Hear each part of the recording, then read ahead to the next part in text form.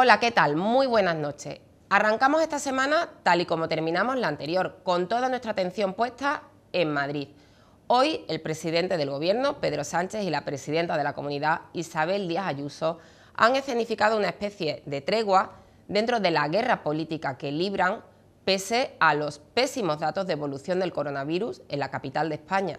Sepan que Madrid es ahora mismo la región europea con peores datos en cuanto a evolución del coronavirus y que de las 10 regiones europeas con peor evolución de la enfermedad, 9 son españolas. Sánchez y Díaz Ayuso han prometido coordinación, diálogo, comisiones, subcomisiones. Posiblemente cualquier ciudadano de a pie lo que quería oír era hablar de más contratos de médicos o de más contratos de rastreadores. Llama la atención que anuncien diálogo, algo que el sentido común indica que debería haber estado en marcha y sobre la mesa desde el primer minuto. ¿A qué se están dedicando nuestros políticos? Se preguntan muchos ciudadanos. El coronavirus se está convirtiendo en una prueba de fuego también para el Estado de las Autonomías, destapando sus vergüenzas y de camino están dando alas a quienes desde más a la derecha llevan ya tiempo pidiendo su desmantelamiento a favor de un Estado centralizado.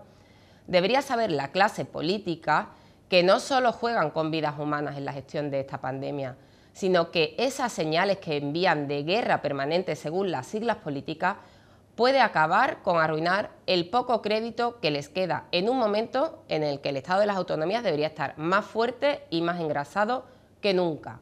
En el PP ya hay voces que se quejan de que el retrato de la gestión de los varones sea el de Díaz Ayuso. Ella fue la gran apuesta de Pablo Casado y Madrid es sin duda el escaparate y lo que ocurra allí nos acabará afectando a todos. Pero es verdad que en la capital de España hemos visto a un gobierno autonómico más desbordado que en ningún otro rincón del país. Hoy el consejero de la presidencia, Elías Bendodo, ha insistido en que no existe ni un solo motivo, por ahora, en Andalucía para adoptar restricciones de movilidad similares a las que se han aprobado en la comunidad madrileña. Esta semana la agenda del Parlamento andaluz deja muy claro por dónde va cada partido. PSOE y Adelante Andalucía se centran, al preguntar al presidente de la Junta, Juanma Moreno, en la evolución de la enfermedad, en cómo se está actuando frente a esta segunda ola en el colapso de la atención primaria en la sanidad pública.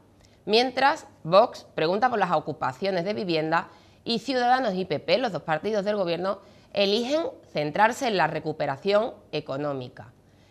Este martes el Consejo de Gobierno, que se celebra de forma excepcional en Jaén, aprobará un paquete de ayudas para el ocio nocturno e infantil. La semana pasada ya se anunció el polémico bono turístico con descuentos para quien decida irse a un hotel a pasar unos días.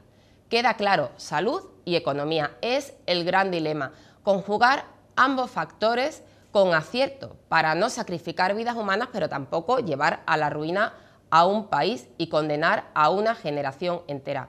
Ojalá nuestros representantes, nuestros representantes políticos, esos a los que hemos confiado nuestro futuro a través de nuestro voto, sepan bien lo que tienen entre manos.